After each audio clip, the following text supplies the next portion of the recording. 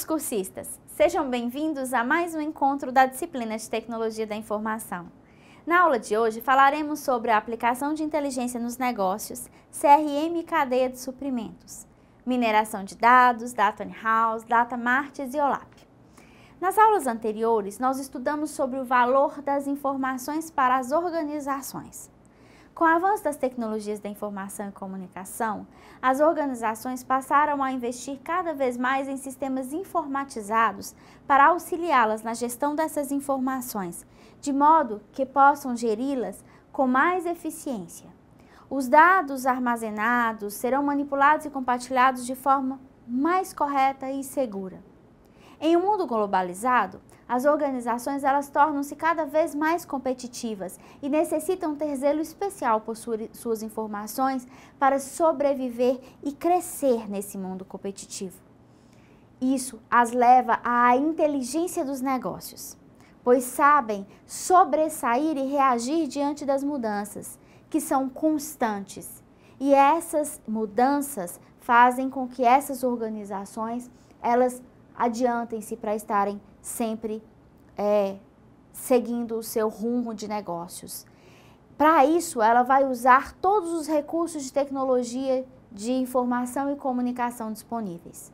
O principal recurso são os sistemas de informação, como já vistos.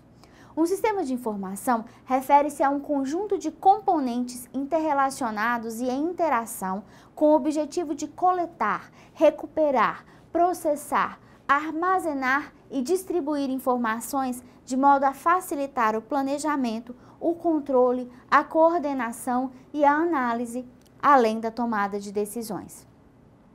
Para aplicar o conceito dos sistemas de informação nas organizações, nós devemos antes compreender como são classificados esses sistemas de acordo com o nível de tratamento da informação e da tomada de decisão em que estão relacionados os sistemas de informação, eles são classificados pela função que desempenham, pelo tipo de gestão que atendem e pelo tipo de decisões que auxiliam. E ainda pela sua forma, ou seja, pelo grau de funcionalidade, automação e programação a que foram desenvolvidos.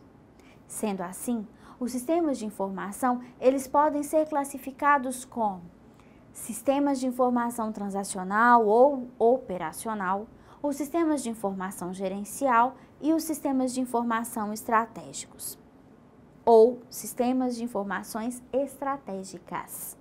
Os sistemas de informação transacionais ou operacionais são responsáveis por auxiliar o nível operacional, que é o nível mais elementar da organização, o nível mais baixo, onde a maior parte das pessoas trabalham. Ele é responsável por monitorar e registrar as atividades diárias da empresa, como os cadastros, as vendas, recebimentos, consultas básicas previamente definidas, como o caso dos saldos, cobranças, emissão de notas fiscais, controles de depósitos bancários, folhas de pagamentos, controle de notas, controle de despesas e tantas outras atividades básicas que são trabalhadas pela maior parte dos membros de uma organização. Mesmo esses sistemas, ele tendo essas funções básicas de tarefas diárias, são extremamente importantes para os níveis superiores, os gerenciais e estratégicos, pois são esses sistemas responsáveis por registrar, armazenar os dados e informações utilizados pela organização em suas tomadas de decisão. Os sistemas de informação gerenciais, que é o segundo nível, provém informações gerenciais aos supervisores, aos gestores, aos cargos correlatos a essa, essa questão administrativa e gerencial, apoiando as decisões que realizam e que necessitam delas dia a dia para as organizações. Geralmente elas oferecem é, informações que trazem é, aos, aos gerentes, ao nível intermediário das organizações, o controle de suas operações. Esses sistemas são comuns para a geração de relatórios gerenciais que podem ser de rotina, ocasionais ou de exceção. Os relatórios de, de rotina são gerados em intervalos programados, com foco em um conjunto de informações previamente definidos, como um relatório de controle de pontos, por exemplo, um relatório comum, com tempos programados, mas que podem gerar tomada de decisão distintas conforme o seu resultado. Já os ocasionais, eles surgem de uma necessidade específica. Entretanto, eles não apresentam variáveis muito diferentes dos relatórios de, de rotina. Por exemplo, imagine um controle de ponto para identificar o empregado que tem o hábito de atrasar com maior frequência ao trabalho, ou aquele que faz maior quantidade de horas extras, ou ainda aquele que tira mais licenças médicas.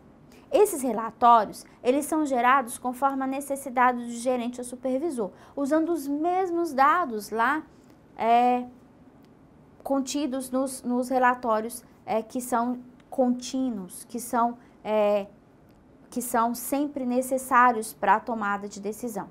Os relatórios de exceção já têm a, a, a finalidade de apresentar resultados totalmente fora dos padrões como por exemplo, quanto se gastou com horas extras de um determinado setor, é, quanto se gastou com as horas extras de um determinado setor por um determinado período, ou ainda o cálculo de perdas e possibilidades. Então, são aqueles relatórios que geralmente é, não têm uma finalidade de, de, de serem contínuos, né? são sempre exceções. Geralmente esses relatórios têm a finalidade de se antecipar a um determinado evento, algo que ainda não ocorreu, como a possibilidade de recompor diante de uma crise. É algo que ninguém prevê. Teve uma exceção e aí a gente precisa criar esses relatórios para se antepor às situações. Os sistemas de informação estratégicos são aqueles que apoiam a alta diretoria, o alto escalão das organizações os executivos de mais alto nível das empresas, responsáveis por filtrar as informações mais fundamentais e estratégicas, ajudando a traçar as diretrizes estratégicas da organização.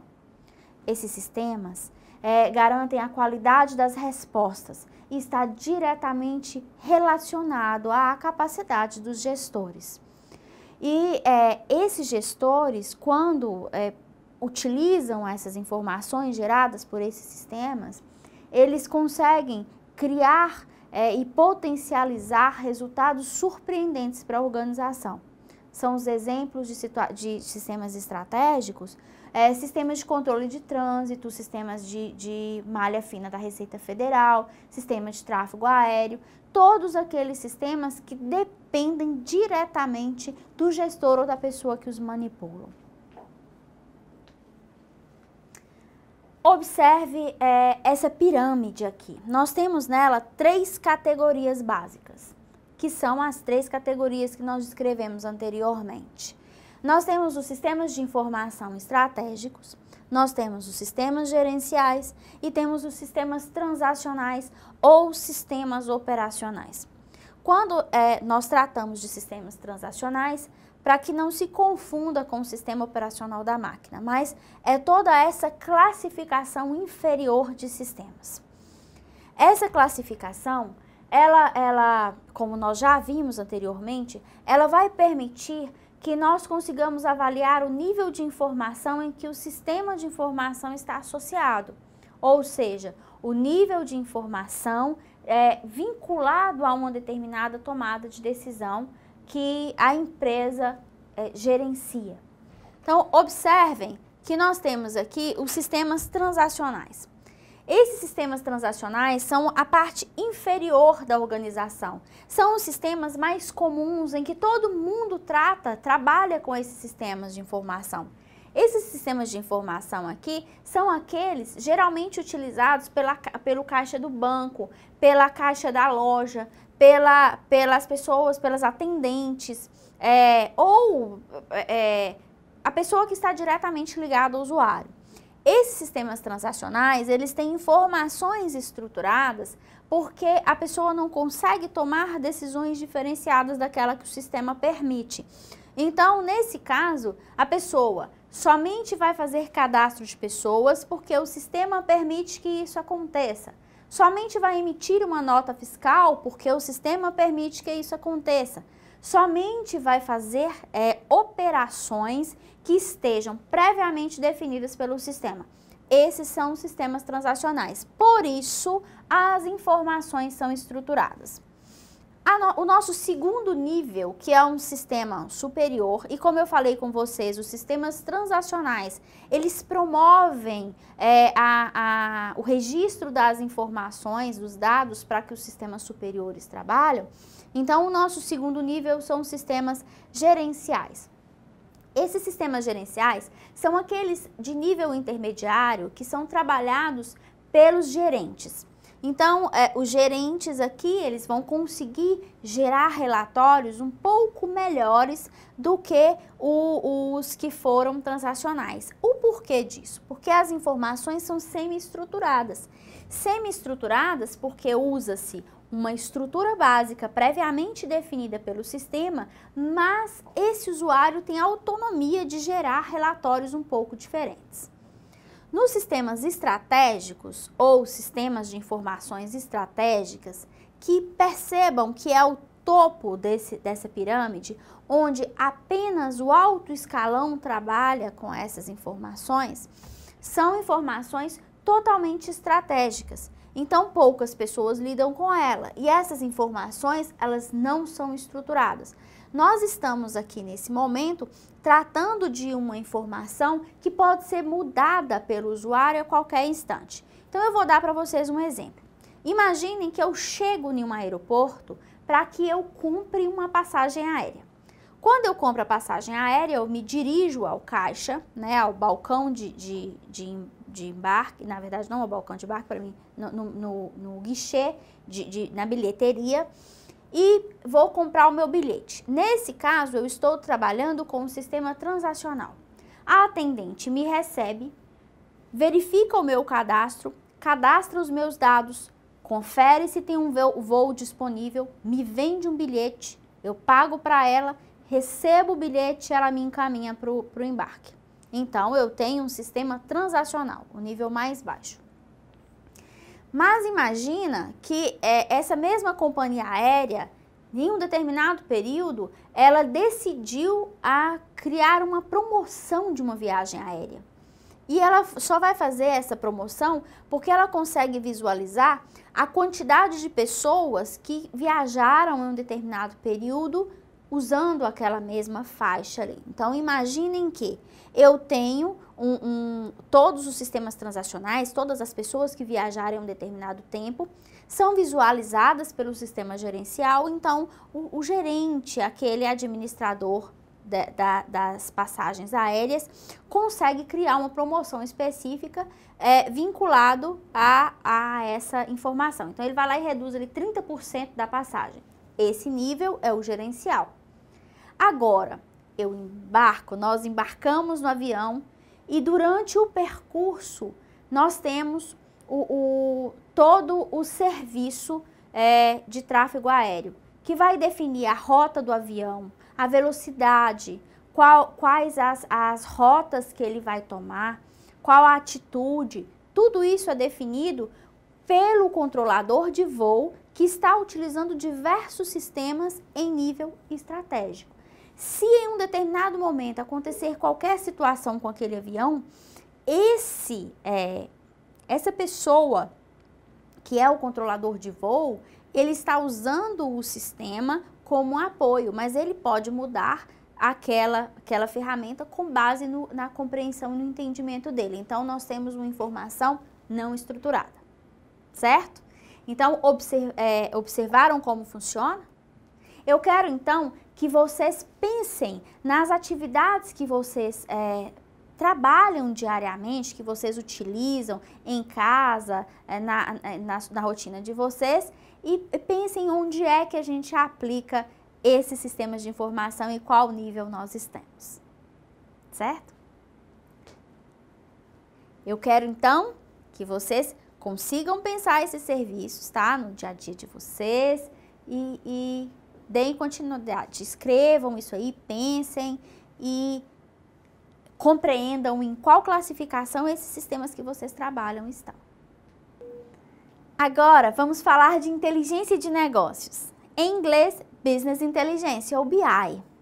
Esse conceito, ele refere-se ao processo de coleta, organização, análise, compartilhamento e monitoramento de informações que oferecem suporte à gestão de negócios. A inteligência de negócios ela é normalmente aplicada nos níveis gerencial e estratégico das organizações, ou seja, nos níveis superiores. O papel principal da inteligência de negócios é fornecer aos gestores informações que melhorem o desempenho da empresa, minimizando custos e maximizando os lucros. Então, a BI ela tem o objetivo de diminuir custos, aumentar os lucros. A inteligência de negócios ela é utilizada pelo alto escalão das empresas, ou seja, por pessoas com posições estratégicas na organização e que estão diretamente relacionadas, ligadas com o negócio. Essas pessoas elas têm o poder de decisão para adaptar e alterar o rumo de uma organização ou de uma situação. São as pessoas que têm acesso às informações não estruturadas. É o caso do exemplo que nós vimos um pouco antes, quando nós falamos dos controladores de voo. Eles têm o poder de tomar a decisão, independente é, daquela situação, eles podem mudar o curso de uma situação. A mesma coisa com um gestor de uma, com o dono, gestor do alto escalão de uma determinada empresa. Então a BI, ela trabalha com regras e técnicas para a gestão de grande volume de dados transformando-os em depósitos de informações estruturados, organizados. Ou seja, aquela montanha de dados que nós temos armazenados é, de uma forma padrão, bem simples, de uma forma é, rotineira, elas vão se tornar um conjunto de informações totalmente relevantes à tomada de decisões. É como se nós tivéssemos que organizar produtos em um estoque nós temos a opção de guardar todas as mercadorias juntas, ou jogadas, ou armazenadas em uma caixa, caixas pequenas, ou então em uma grande caixa. Ou ainda, nós podemos organizá-las por tipo de produto.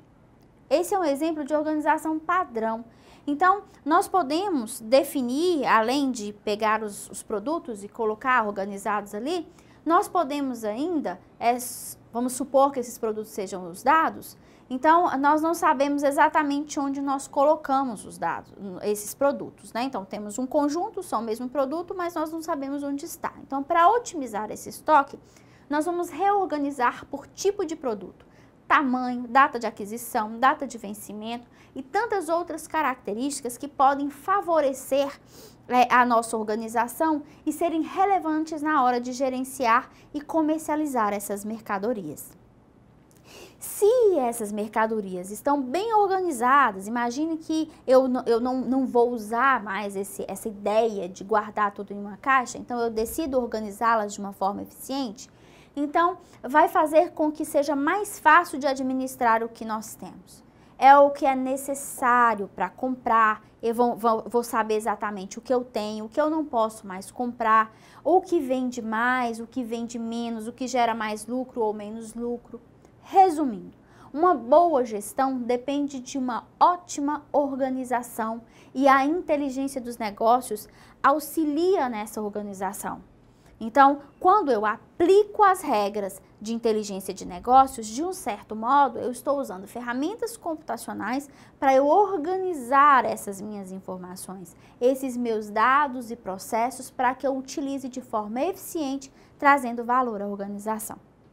Então, as, de todas as ferramentas de BI que nós temos, as principais delas e que nós vamos tratar aqui nesta aula são Data Warehouses, que são os armazéns de dados, os Data Marts, o OLAP, que é o processamento analítico online ou em tempo real, a mineração de dados, os sistemas CRM, que são utilizados para a gestão de relacionamento com o cliente. Então, essas são as principais ferramentas que trataremos nessa aula. Apesar de BI incorporar vários outros, outros sistemas, outras ferramentas e outros métodos que nós não, não falaremos, não trataremos aqui nesse instante. Então, primeiro, nós vamos falar sobre o Data House. O Data House é um processo de integração de dados corporativos. É, então, nós vamos pegar todos os dados da organização em um único banco de dados. no qual os usuários finais, eles podem realizar análise de modo muito mais fácil e eficiente. Então, qualquer usuário que trabalhe com o Data Warehouse, ele vai ter facilidade de uso, não precisando saber muito além do que o sistema prevê. Então, o Data Warehouse é um ambiente de suporte à decisão que obtém dados de diversas fontes. Ele vai os organizar de modo consolidado e vai entregar essas informações aos tomadores de decisão, para que eles escolham as informações que realmente são úteis para a organização. Observe esta imagem. Este é um diagrama básico de representação de um data warehouse. Então, quando nós temos aqui o Data Warehouse, nós temos uma base de dados gigante, que é onde vai armazenar todos os dados. Essa representação centralizada é como se eu pegasse todas as informações e guardasse dentro desse Data Warehouse. É, como é que se dá o armazenamento dessas informações? Nós temos aqui os sistemas RP, que nós já vimos antes também. Então, eu posso ter os dados armazenados nos sistemas RP, um sistema local que trabalha, por exemplo, a contabilidade da minha organização. Imagine que ele não esteja vinculado ao meu sistema ERP. Eu tenho um outro sistema local, imagina que eu tenho um sistema que é, eu não, não utilizo mais, um sistema que ele está desatualizado, a minha empresa não, não trabalha mais com ele, mas nós não podemos descartar essas informações porque elas são relevantes para a organização. Nós temos o sistema CRM, que nós tra trata, é, trataremos mais adiante, que são sistemas de relacionamento com o cliente, e nós temos ainda algumas informações que nós podemos tirar da internet. Então, todos esses dados, eles são capturados e são jogados aqui nessa ETL. E ETL nada mais é do que um filtro que vai é, filtrar as informações dos múltiplos sistemas, fazendo com que esses sistemas, eles não sejam, com que essas informações, perdão, elas não sejam repetidas. Então, se eu tenho, por exemplo, o nome é, Maria, é, Maria da Silva, é, foi cadastrada nesse sistema, nesse, nesse e nesse. Para que eu não tenha o registro da mesma pessoa, do mesmo indivíduo, é, diversas vezes dentro do meu Data Warehouse, a gente passa, faz com que ele passe por um filtro, fazendo com que uma única informação vá para o Data Warehouse. Então, ele faz com que todas essas informações sejam vinculadas, verifique o que realmente pertence a essa pessoa, para que não tenha duplicidade de informações e que vá somente as informações que são pertinentes e relevantes aqui para o Data Warehouse. Por isso, nós temos essas múltiplas setinhas que chegam aqui na ETL, que é o nosso filtro, e depois é direcionado para essa base de dados maior, que é o nosso Data Warehouse em si. Bom, Seguindo esse mesmo conceito, nós já vamos, junto com o Data Warehouse, eu já vou explicar para vocês o conceito de Data Marts. Observa que, observe que eu tenho aqui vários bancos de dados menores, esses bancos de dados são os Data Marts. Então, aqui eu tenho Data Mart cliente, fornecedor, produto, funcionário, despesa. O que, que quer dizer tudo isso? O Data House, ele trabalha, ele, ele, ele, trabalha de uma forma organizada, mas não tão organizada quanto o Datamart. Imagine que eu vou organizar a minha loja e aí eu tenho um único lugar para eu armazenar os meus produtos. Então eu pego todos esses dados, jogo eles dentro de uma caixa, dentro de um repositório só, mesmo que eu divida. Do lado de cá eu vou colocar é, a parte de vestuário. Do outro lado eu vou colocar calçados, do outro eu coloco acessórios. Mas está misturado, não tem uma organização adequada. E quando eu for procurar, eu vou ter que procurar naquela caixa inteira, onde eu tenho vestuário, calçado, acessório, até que eu encontre o que eu quero. Então, qual é a finalidade do Datamart? O Datamart são instruções que, que, são tratadas, trabalhadas aqui dentro do meu Data House. Essas informações, elas são associadas a esse processo, elas são desmembradas e aí eu tenho bancos de dados menores, onde nós temos o tratamento dessas informações que são é, vinculadas a, sistema, a bancos de dados menores. Então, eu vou ter um banco de dados pequeno, que trabalha clientes, eu vou ter um banco de dados pequeno, só fornecedores, só produtos, só funcionários, só despesas. Então, esses data marts é como se eu pegasse as informações do Data Warehouse e direcionasse por um único assunto. Alguns autores dizem que é, o, data, o data mart não necessariamente é um resultado do data warehouse, mas eu posso ter data marts que façam a composição de um data warehouse, ou seja, em vez de ser uma consequência, eles podem ser a, a, as, as informações que geram o, o, a, o repositório de dados dentro do meu armazém de dados, tenha sido os data marts. Então, não obrigatoriamente eles serão apenas o resultado de um, de um, de um Data Warehouse. Então, Data Mart são aqueles bancos de dados menores orientados por assunto. Essa é a ideia de Data Warehouse e Data Mart.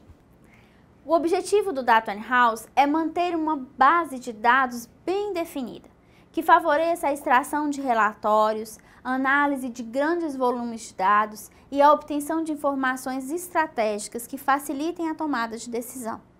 Os data houses, eles são abastecidos com os dados gerados nos sistemas transacionais, naqueles sistemas do baixo nível lá, lembra que eu expliquei antes? Então, esses dados, eles podem ser muitos, eles podem ser gerados em volumes muito extensos. Imagine uma empresa de comércio eletrônico, quantos dados ela obtém por dia dentro de uma venda, ou uma grande loja mesmo, um atacadista, um supermercado. Então, a obtenção desses dados que vêm dos sistemas transacionais, eles ocorrem por, por, pelo intermédio de uma ferramenta chamada OLTP, que são os processos de transação online ou processos de transação em tempo real são as chamadas séries históricas. Tudo que se registra é automaticamente vinculado a um data warehouse. Essas ferramentas, elas possibilitam uma melhor análise dos dados, passando a favorecer e, e a oferecer também um suporte muito melhor às tomadas de decisões, tanto presentes quanto futuras. Vai auxiliar nesse processo de tomada de decisão de uma forma muito mais eficiente. Uma característica dos data in-house também é que eles não são voláteis, ou seja, eles não são modificáveis. Tudo que é guardado dentro de um data in-house vai ficar armazenado ali e não pode mais ser alterado, não pode ser removido, não pode ser excluído. Então, esses dados, eles, eles estão ali de forma permanente, é o que nós chamamos de dados históricos, ou seja, eles estão armazenados de modo permanente. Os, os sistemas da House, eles têm a capacidade de sumarializar e analisar grandes volumes de dados, como eu disse. É uma das principais ferramentas do Business Intelligence. Ou seja, é uma das principais ferramentas do BI. E, e essa, essa, esses data house, eles atendem principalmente os níveis gerenciais e estratégicos das organizações, ou seja, os dois níveis superiores, com base no nível inferior, que é o, que é o transacional, que vai é, inserir, permitir que as informações sejam inseridas ali dentro. O OLAP é o processo analítico em tempo real. É uma outra ferramenta. E é a ferramenta mais comum para a exploração de um data house. O OLAP ele tem a capacidade para manipular e analisar um grande volume de dados, assim como as outras ferramentas que nós trataremos. E só que tem que a, a, a intenção dele é garantir múltiplas perspectivas. Ele também é conhecido como cubo de decisão. O OLAP ele é definido como modelo conceitual, ou seja, é apenas um conceito ele, o sistema, ele garante com que aquela ferramenta ela seja executada, mas é um conceito. Então ele vai organizar as informações em cubos, e esses cubos armazenam valores ou medidas. As dimensões referem-se a qualquer visão do negócio que faça sentido a uma análise. como, por exemplo, o custo, o tipo de produto, o departamento, um período, um tempo. Então, ele representa um modelo de dados multidimensional, com múltiplas dimensões. Cada, cada dado de análise, cada ponto de análise é uma dimensão diferente. Então, desse modo de trabalhar esses dados multidimensionais, ele vai facilitar a geração de relatórios, as análises comparativas e o agrupamento de maior interesse por parte do usuário final sem que ele tenha o conhecimento muito aprofundado dos sistemas de informação. Como eu disse, não precisa saber muito da ferramenta, precisa saber o que se quer com ela. Essa é a principal vantagem dessas ferramentas. Bom, essa, esse é um esboço aqui desse, dessa ferramenta OLAP. Como eu falei com vocês, ela, ele é um modelo conceitual. Então, eu tenho um conceito de um cubo. Um cubo de decisão básico aqui. Então, quando eu, eu trato dessas variáveis que vocês estão vendo aqui, observem que eu tenho produto, valor, meses, dias, é, aqui tem escrito região, estado. Então, o que, que eu quero dizer? Eu quero dizer que eu tenho dimensões diversas. Dimensão de produto, dimensão de meses, dimensão de região. Só que tem que dentro do produto eu tenho várias outras características. O produto, por exemplo, pode me dar valor, pode me dar descrição, pode me dar tamanho, pode me dar data de validade, pode me dar fabricante. Então existem características do produto que podem ser classificadas dentro dessas fases desses cubos. Observa que são quadrados e esses quadrados referem-se a informações específicas. Outro ponto importante, quando temos meses, os meses eles são compostos de um ano, por exemplo, eu poderia colocar tempo, um ano tem 12 meses. Um mês tem 28, 29, 30 ou 31 dias. Então, cada mês vai ter um conjunto de variáveis que vai fazer com que esse meu modelo conceitual, ele tenha essa ideia de cubo. O outro, o outro ponto que eu coloquei, a questão da região e dos estados, o nosso país está dividido em regiões, cada região tem um conjunto de estados, e isso é extremamente importante e relevante para esse meu cubo de decisão. Vocês imaginem quando vocês forem pensar nesse cubo, aquele cubo mesmo que criança brinca, para que a gente consiga fazer com que as faces estejam todas da mesma cor, nós precisamos compreender qual é a estratégia do negócio e colocar essas, essas ferramentas, ou seja, essas variáveis, essas informações que nos são relevantes, dentro de uma mesma face, com a mesma característica, para que nós consigamos ter ali um resultado eficiente. Então, é, cada dimensão desse modelo LAP, desse cubo de decisão, ele pode ser organizado é, em uma hierarquia específica com cada lado. Então, nós temos para cada dimensão detalhes específicos. Então, esses detalhes, eles têm que ser tratados pela gestão, pela, pelo usuário final que vai visualizar esses dados aqui ele não vai visualizar da forma que nós estamos expondo. O sistema vai fazer com que ele trabalhe essa informação de um modo muito mais eficiente, muito mais eficaz. E isso sim é relevante para a organização. Isso sim faz diferença trabalharmos essas faces do nosso cubo. Bem, nós temos as outras ferramentas, como, como eu disse no início da aula, né? Então, Vamos deixar o cubo de decisão para lá e vamos para um novo assunto agora, que são a, a, as, as ferramentas de mineração de dados. Então, é uma outra ferramenta importante para a inteligência de negócios. Mineração de dados refere-se ao processo de explorar grande quantidade de dados, como eu disse, todas as outras têm essa característica, explorar um conjunto, um volume grande de dados, porque o armazém de dados, o Data House, tem a característica de armazenar esse grande volume. Então, ele faz com que sejam procurados padrões consistentes, relevantes a uma determinada busca. Essa ferramenta propõe regras de associações ou é, regras sequenciais de dados. E ele visa detectar relacionamentos sistemáticos entre eles, a fim de detectar novos subconjuntos relevantes à pesquisa que nós estamos querendo. Então, a principal finalidade da mineração de dados é descobrir padrões e relacionamentos ocultos nos bancos de dados, principalmente naqueles com volume grande de informações que necessitam de critérios mais apurados para serem reconhecidos. É, é, é, e essa questão de estar mais apurado, mais difícil de, de encontrar, vem de uma expressão que nós podemos fazer uma analogia dos garimpos.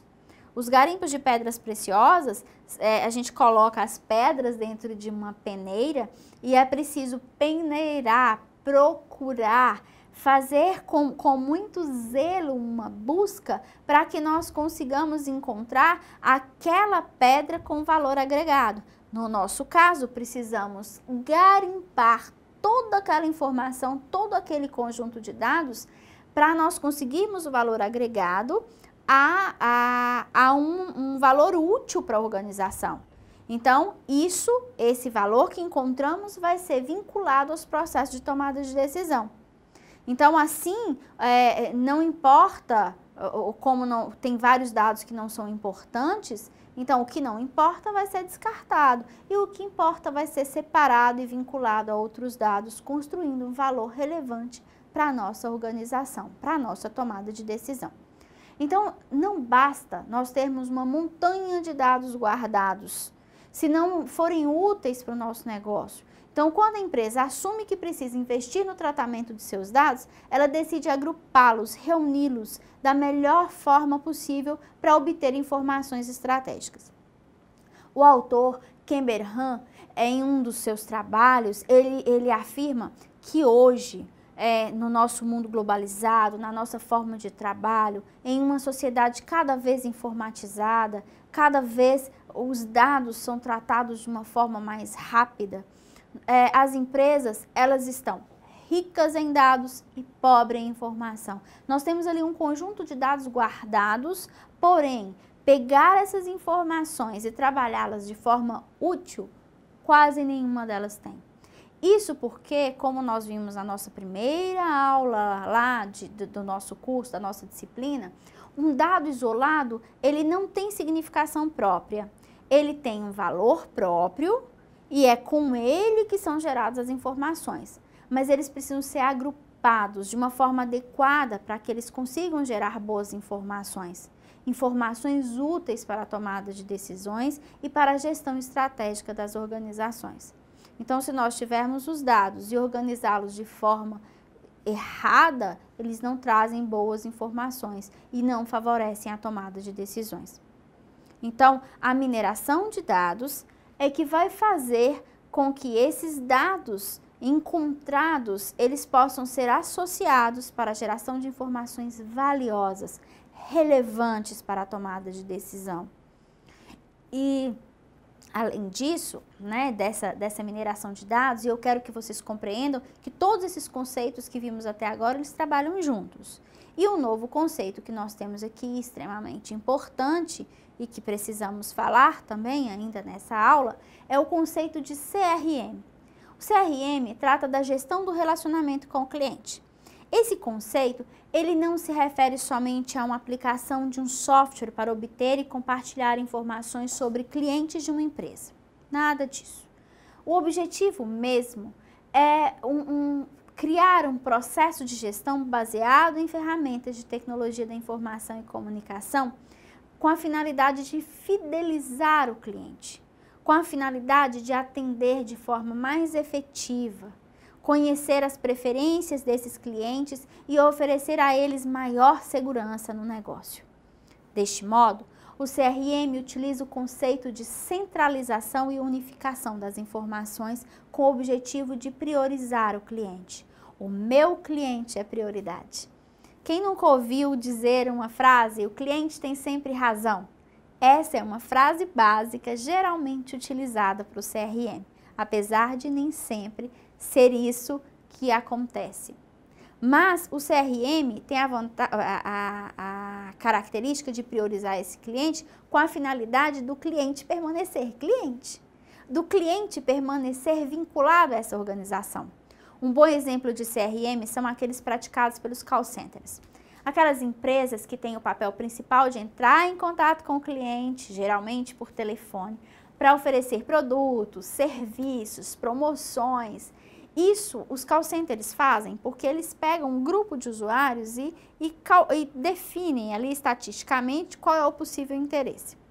Esses call centers ainda usam essas características ou essas, esses dados armazenados para é, definir propostas para esses clientes para atender a, a, a, dívidas, negociar dívidas, é, de forma a beneficiar não somente a empresa, mas também esse consumidor. Então, é, essa empresa vai fazer com que esse cliente ele esteja fiel e vinculado à empresa. Ou seja, se eu estou satisfeito com a minha empresa, eu não vou abandoná-la. Isso garante o lucro da organização. Então, quem costuma comprar empresas de comércio eletrônico, por exemplo, pode verificar um espaço de atendimento ao cliente. Geralmente, essas, essas, essas empresas de comércio eletrônico, elas atendem o cliente por chats, mensagens instantâneas, telefone, WhatsApp, é, diversas formas, né? E, e, só que tem que o atendimento ao cliente não se limita somente a esse canal, a esse espaço. Então, quem nunca recebeu um e-mail de, de, de, promoções ou uma mensagem no celular falando que tem uma promoção na loja que você mais gosta, do produto que você mais gosta? Como estratégia, as empresas utilizam esses sistemas em outras áreas para enviar um lembrete que a fatura está disponível. Não é uma cobrança, é um lembrete, porque o objetivo não é provocar o cliente, mas fazer com que ele fique feliz. Ah, eu tenho uma conta para pagar, não vou pagar juro. Quem é que nunca foi solicitado avaliar um produto ou serviço?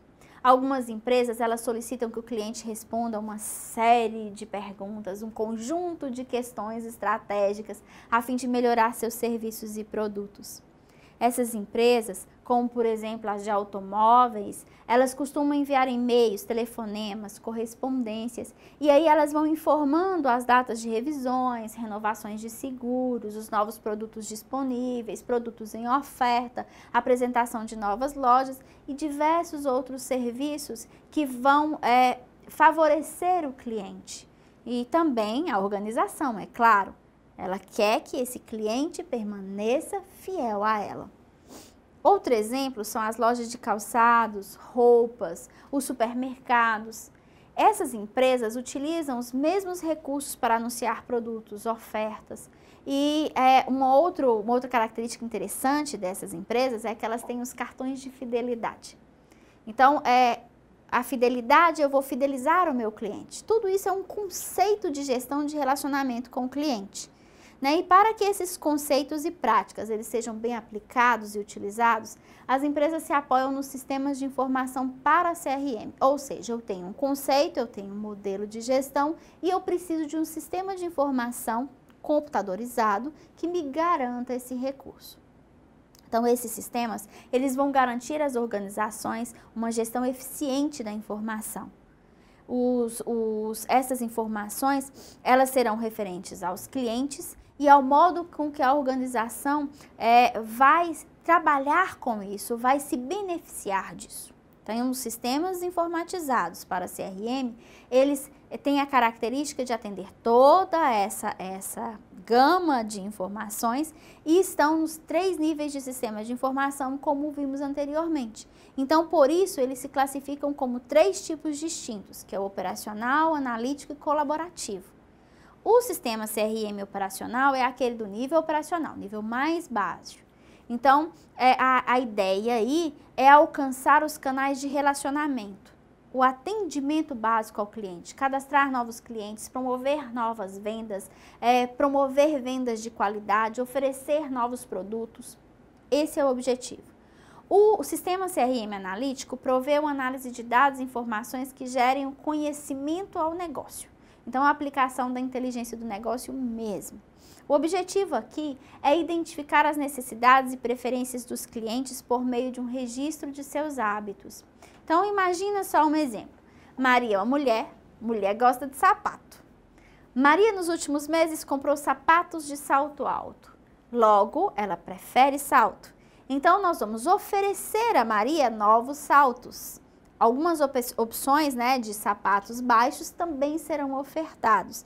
Isso para que ela possa experimentar e consumir as novas, novas opções ou outras opções disponíveis. Então, diante de tudo isso, nós podemos oferecer roupas que formem bons estilos com os calçados que ela comprar.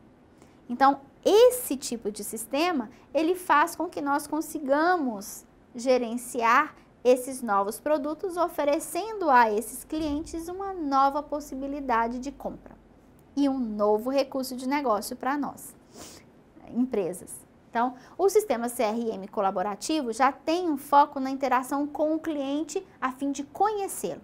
Daí vem as pesquisas de opinião acerca dos produtos e serviços. Então, geralmente as empresas, quando lançam um produto novo, elas, elas vão investigar se o consumidor aprovou a ideia antes de comercializá-la. Então, essa é uma fase totalmente estratégica. Eu vou criar um, um, um, um produto, um alimento novo, antes eu testo qual é o paladar das pessoas, se tem alguma coisa a ser melhorada. Então, essa é estratégica. Então, essas formas de sistema CRM, elas garantem uma melhor aplicação desses conceitos. Isso porque as empresas, elas têm muitos clientes e esses clientes muitas vezes não estão na mesma região, nem têm os mesmos hábitos. Então, a melhor forma de gerenciar esse relacionamento é automatizando ele. E automatizar esse, esse relacionamento, automatizar essas informações com o apoio dos sistemas de informação. Compreenderam como funciona? Bom, nossa aula termina aqui. Foi um prazer estar com vocês. Estudem o caderno da disciplina das páginas de 87 a 130 e desculpa. Estudem é, o caderno nas páginas de 87 a 134. Nós vamos nos encontrar na próxima semana. Fiquem em paz. Tchau!